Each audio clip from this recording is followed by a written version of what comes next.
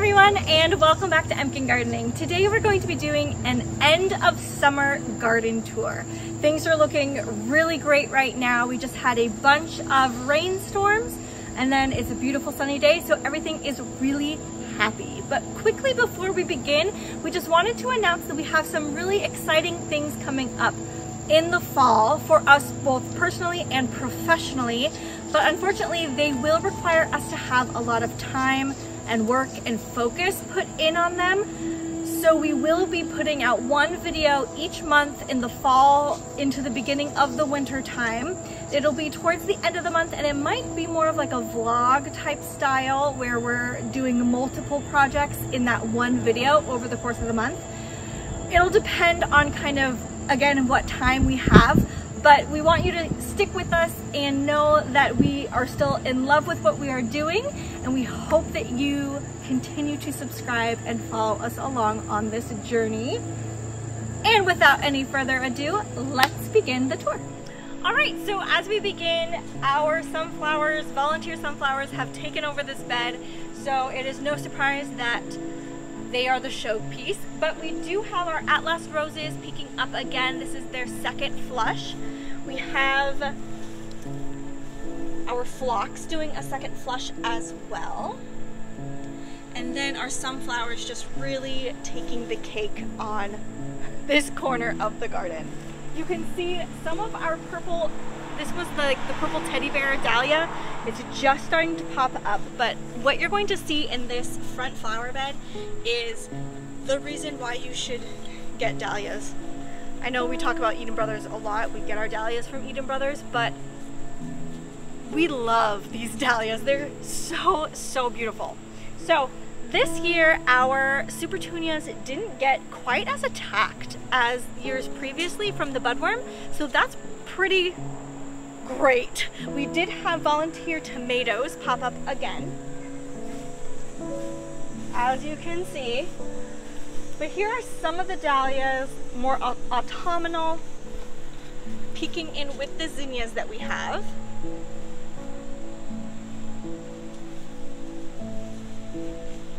Our big dinner plate pinks coming out. These are absolutely beautiful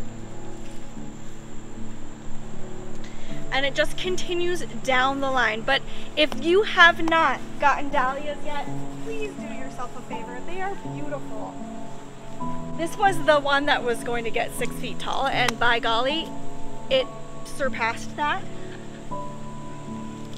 It is so, so pretty. And then the pink dinner plates right here. These are just beautiful, and you cut them and you make arrangements with them, and the more you cut, the more grow. So get yourself some dahlias. We have some more variety right here. Again, very autumnal, mixed in. And I wanted to show you these um, pinks and right at the bottom.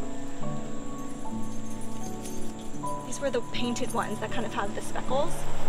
But we have just absolutely loved the dahlias. Our roses are doing really well, but this front flower bed from the front has been just such a beautiful, beautiful, beautiful show this year. We're very happy. Probably going to add more dahlias next year just because they're outperforming the zinnias this year and honestly I would be totally happy with just all dahlias. So maybe that's on the docket for next year. We have some of our purple echinaceas coming up and then if you swoop on over our Blanco echinaceas, Supertunia, Vista Jazzberry, and we had only one of our black-eyed Susans grow this year. And you can see exactly where uh, in the bed they start having problems before they're okay. So that is really interesting. Obviously, with anything that has a hard time, it just gives us opportunities for planting something else. So this little area might be changing soon. Then with our new bed that we planted in July with the perennials, they're doing so well. I don't know if you remembered, um, they were a little worse for wear with all the thunderstorms that we're having in July, but they're doing so much better in the ground. So again, this rose is pushing its next bloom. It was already here, but the echinacea, the wee hostas, and then this rose was the one that was really having problems, and it is loving its life in the ground. We have our butterfly bush filled with bees right now, honeybees, yay. Still doing well even though it's tucked in this corner.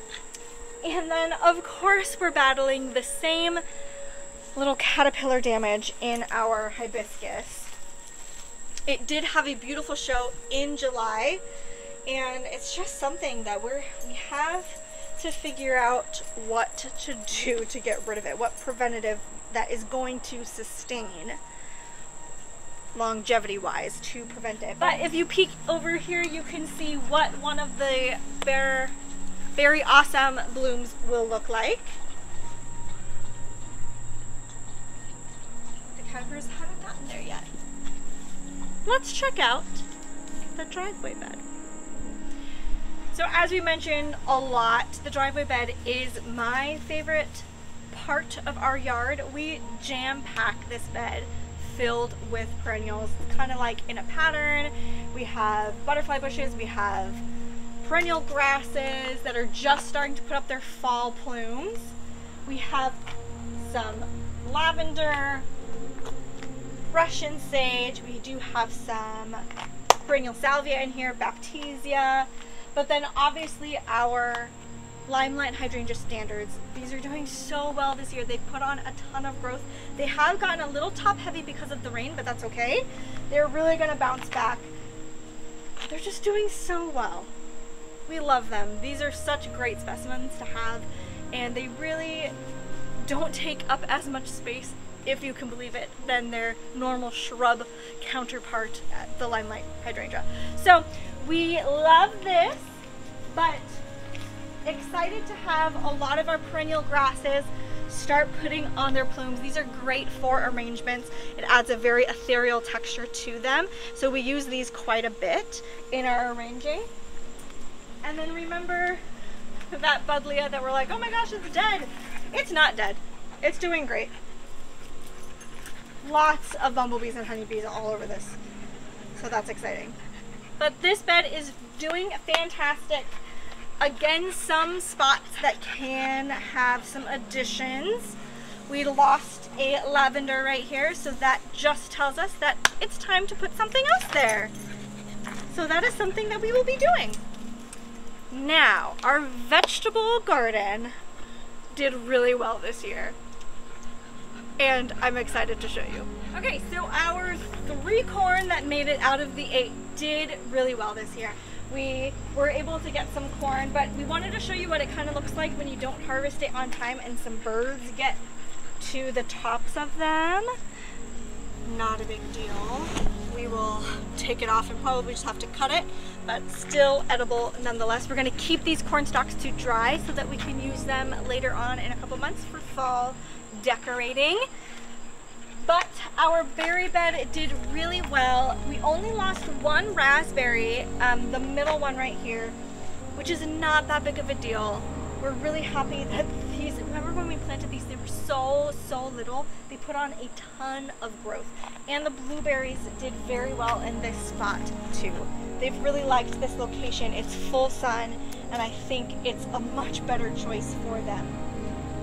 So we'll help these guys um, kind of up along the fence here so when they start training. But we're excited to get some raspberries for next year. then our grow bags. Holy moly. We are still pulling up potatoes. So many potatoes. All of the potatoes. These ones are pretty small, but that's okay. They're still like, ah! They're still like russet potato size. So very fortunate. Grow bags were a success in that department. Probably going to repeat that next year. We, y'all, every year we do actually cut back. I don't know if you know that, but we do cut back and yet it's still too much. Too much for us to be able to consume. So each year is a growing year. There's only two of us.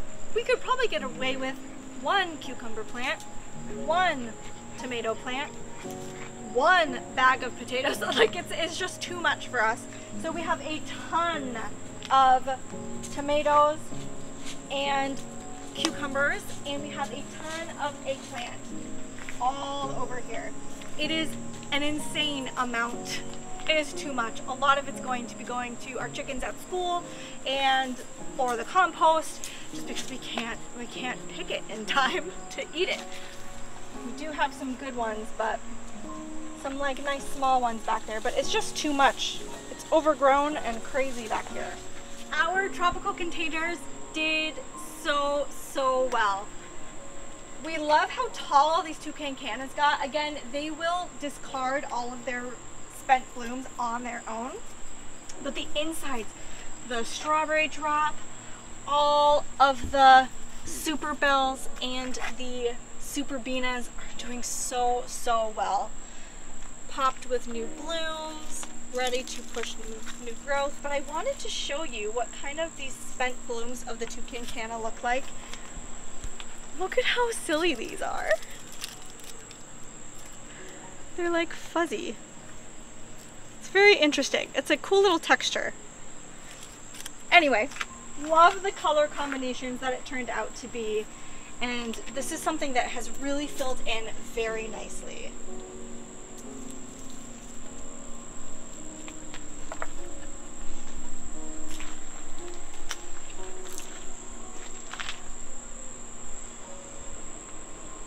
So in our backyard, our hydrangeas are doing really well. The smooth hydrangea, this is the blush, did something very interesting this year because it blooms a lot earlier than the limelight hydrangea. It got pink, the light pink, the hot pink, and then green, like the really autumn color, super fast. And uh, I think that was because of the amount of rain that we got in July and also then some of the storms and the heat I think did a number on it but you can see like the new growth these like itty bitty blooms of what it would look like very different than the autumnal vibe that's happening right now but our limelights are doing great. These blooms are just so beautiful, but you can tell by the weight that happens when they get waterlogged. It kind of weighs the whole bush down, but that's okay. It'll perk up, um, and then we'll be using some of these for arrangements as well, just because they're so big and bold. And I like the color as a lime and as it starts turning into the pink as well so pretty. Our asters are doing really well. And then let's go check out the garage bed because we got some damage over there. So we do have like six or seven peaches that are ripening up in our peach tree. So that's exciting. Nothing like the haul we did last year, but something that is still really nice on and off here. Okay, so in our garage bed, because of how many storms we had this year, our whole trellis that was holding up the climbing rose completely fell and it kind of smushed everything. I do believe the plants are still alive. However, it's going to take a little bit of ingenuity to kind of upheave everything just because this plant does have a lot of thorns, but is a pretty vigorous climbing rose. So that was something that happened. We're gonna have to deal with that. As you can see, it did not kill the plant. The plant's super happy. It's still gonna be fine, but um, it's gonna just take a little bit to kind of upheave it. Some stakes probably to make sure it's nice and secure before winter. So that'll be a fall project for sure. But everything else is doing great. Our buddleias, the black-eyed Susans back here. There is a coneflower back there. Our grass came back really nicely. And then this is the tidbit. Firelight tidbit? One of those. Um, that's having beautiful color happening right now. So the Bobo did push a couple blooms this year. It has another one coming. It's still establishing itself it grew a lot this year, which I'm thankful for because the first year that we put it in the ground, um, it did have blooms, but it just stayed very small. So I'm glad that it kind of put a lot of energy into the growth of the um, stems this year so that next year when we prune it back, they'll be a little bit stronger and hopefully be able to provide a lot more blooms for us. But it's still super cute, super compact, and we love it in this spot. This is where the other damage happened. Our arbor did not survive that storm also. So this is also going to be something that we're going to have to take a look at for next year, maybe putting something else up here kind of block off the backspace from the dogs, but also to provide a spot for our wisteria that's growing.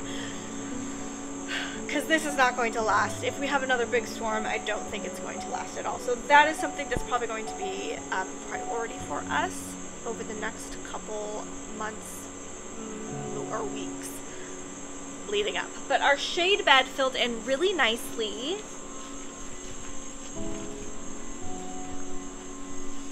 We love the caladiums, that bright white pop. The all of the coleus is doing really well, and so are all of the impatiens. They're really keeping up, which is nice. This is always a really nice spot. I think next year we might put a little bit more here.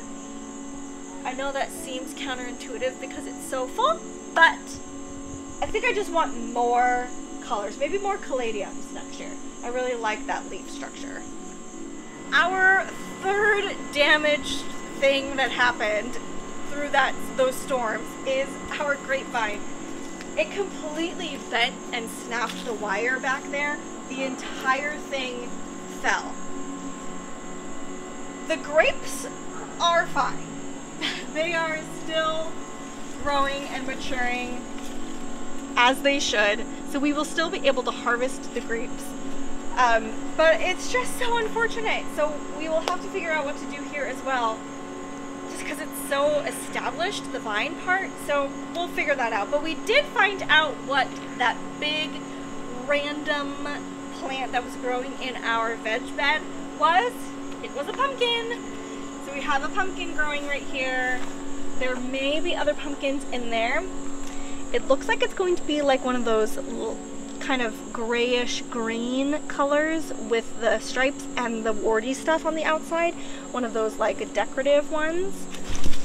So clearly that somehow seeded itself in our veg bed. But that'll be fun for fall. Yeah, we'll take it. Our apples are pretty much ready to be harvested. In September, we'll be able to harvest them. Same thing with our pears. They're doing really great. We have harvested a couple pears already, actually. But they're doing well in there. And our Atlas is peeking through. Doing really well in that spot. The other addition that I really liked over here is how this fall perennial little bed turned out.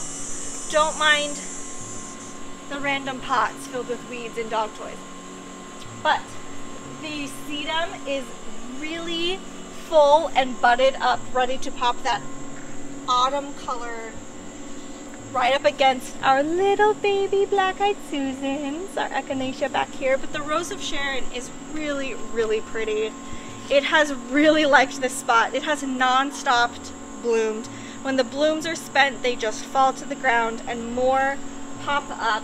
It has been so, so nice in this spot. And then we have our tick seed at the bottom. This was, I don't know if this was just happenstance, but it's growing horizontally. And I think a big part of that was Dizzy just like running and kind of like compacted it to the ground. But I tried to like pull, it up with the pots, but it's still it's growing just straight out. So, you know, we'll take it. It still has the beautiful like sunset flower color, so we'll we'll go with it and uh, still enjoy it for the fall. The last stop we have is in our courtyard. We have our climbing rose behind us getting kind of sparse blooms but still beautiful up at the top. We did cut back our bleeding heart. I left the other bleeding hearts, their foliage, because it still looked okay. The big one, the main one, was very yellow and brown, so we just cut that back. We will be planting some more shade-loving annuals in this spot, but for now it's a little bit bare. We liked having our honeysuckle kind of coming down you can see a lot of the berries forming, so that's kind of nice having this over the top look right by our hydrangea right here. This is a mountain style hydrangea, so different than the other ones. Really pushing growth, which I like though. So over the next couple years, we'll see some more blooms. And again, with our limelight in the corner, we do have, look at this, look at the birds just, oh, devouring and loving this sunflower. Came up from the ground, from the turf, from the fake grass, sprouted and grew. But we have our limelight here. Again, you can see how heavy it is with the weight of all of the rainfall. So, oh yeah, it's really wet still. Um, so once that kind of dries off a little bit, it'll kind of perk perk itself back up. But this is when beautiful beautiful, beautiful back here. I'm glad that it is getting enough sunlight. Um, our roses are doing well. This is that fall plant. You can see it budded up. It's going to have more of a white, like wisteria type bloom coming out. It has like another month or so though. But it's, it's almost there. And then we have our white echinaceas. Just like our previous videos, we leave our echinacea and our black-eyed Susans, the spent kind of bloom, we leave that up for the fall and through the winter for foraging for the birds. So same thing with like the sunflowers. We'll make sure that the birds are able to kind of eat all of those seeds as much as they can before we kind of upheave everything. And with the coneflowers and the echinacea, we leave that so that throughout the winter they can. The last thing that we wanted to show you was an update on our jellyfish arrangement that we did. We Love it. It's doing so well. Let's turn around and look.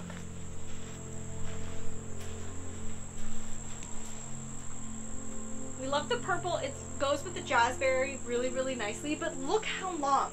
I remember in the video I said, or the tag said that it only got like two feet or like a foot and a half to two feet. And I'm like, no, no, it gets a lot longer than that.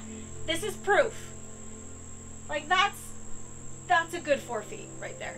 From, from the base of the plant all the way down, that's a good four feet.